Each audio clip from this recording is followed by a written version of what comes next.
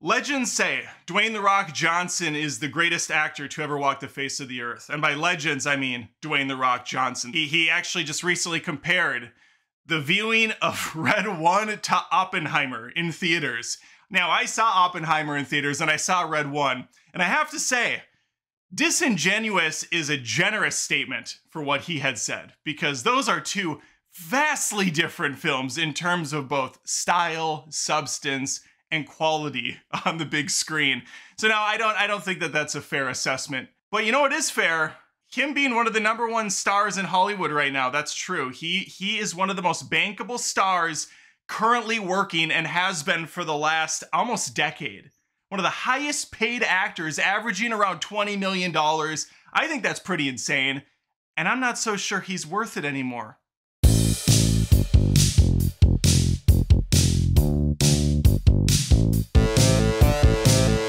Here's the deal. Red One, I found to be pretty pretty bad.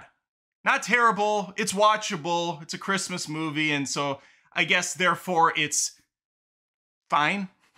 Christmas movies do not have the highest bar. Although I do think Christmas Vacation, Home Alone 1 and 2, and I could, yeah, you could maybe say Grumpy Old Men and Grumpier Old Men have a Christmas element to them they're up there. Those are some of the greatest movies ever, in my humblest of, of opinion. I think Home Alone 2 is superior to the first, but I'm getting off track.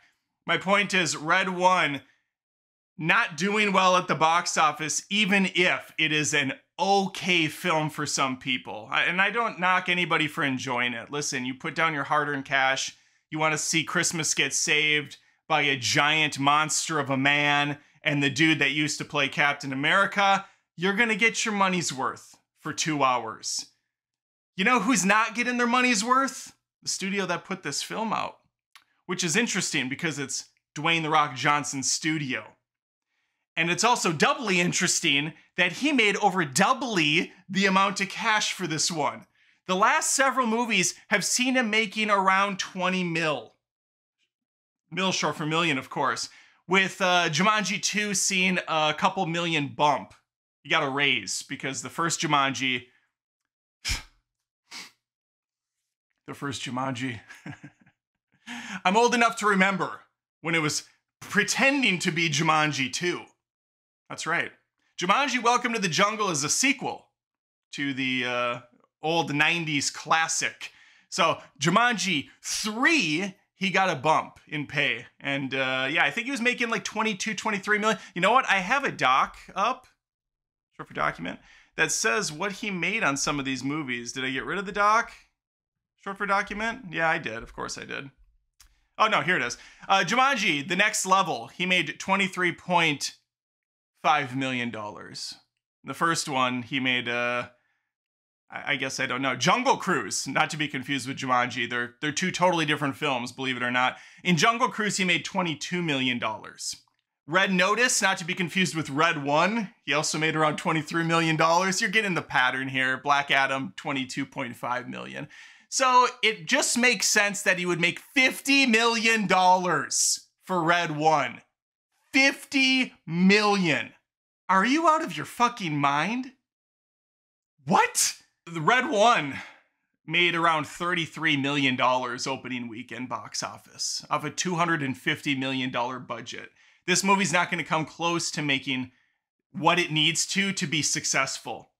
I've said this time and time again, other people have spit this shit out, but a movie in this day and age needs to make double its box office revenue in order to break even. You need to make double. So 250 times 2 carry the carry the 1 it needs to make half a billion dollars. That's 500 million for those that are just as bad as math as I am. Well, I guess I'm better because I figured that out in my head.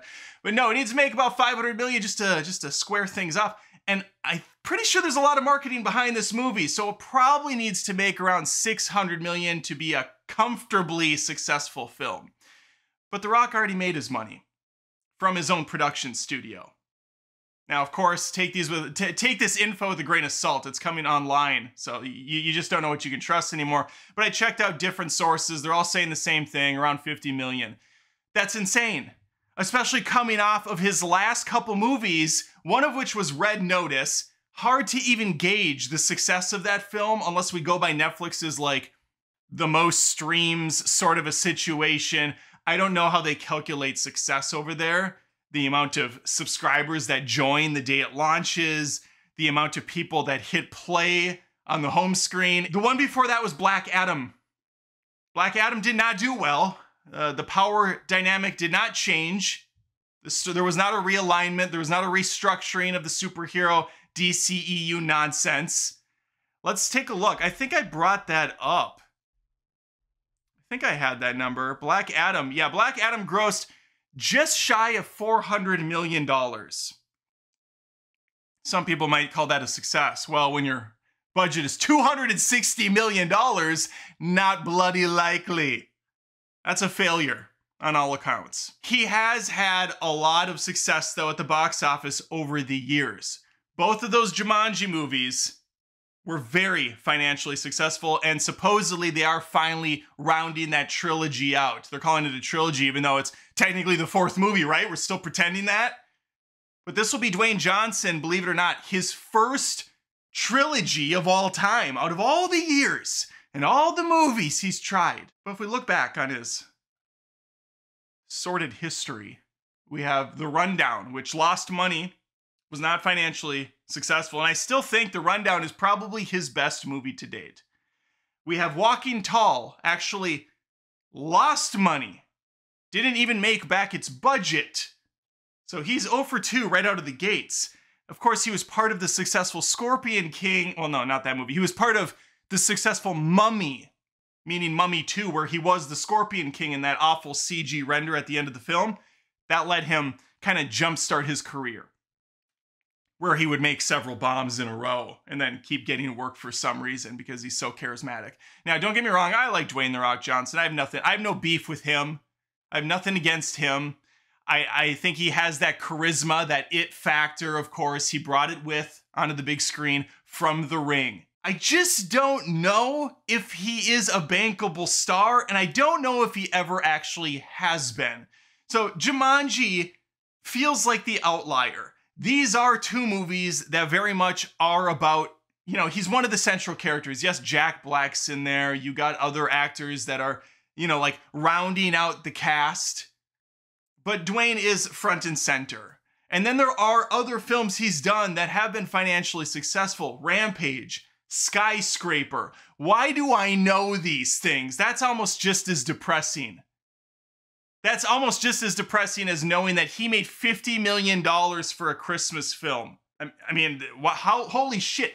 He made $50 million to pretend to save Santa Claus. Let that sink in, folks, while you're working your nine to five, busting your ass off. what did I what did I do with my life? What the hell was I thinking?